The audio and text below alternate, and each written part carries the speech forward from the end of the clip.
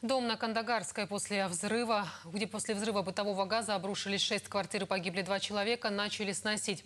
На площадку зашла тяжелая техника. Буквально за сутки от полуразрушенного здания осталась куча строительного мусора. По словам местных жителей, работали два экскаватора, и этого оказалось достаточно, чтобы разобрать трехэтажку.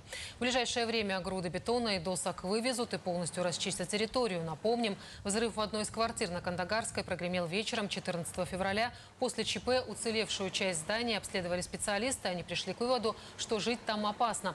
Дом был построен незаконно и с множеством нарушений. Снести его должны были еще три года назад. Но владелец здания требования суда проигнорировал. Более того, он продолжал продавать гостинки. Сейчас мужчина задержан по подозрению в крупном мошенничестве.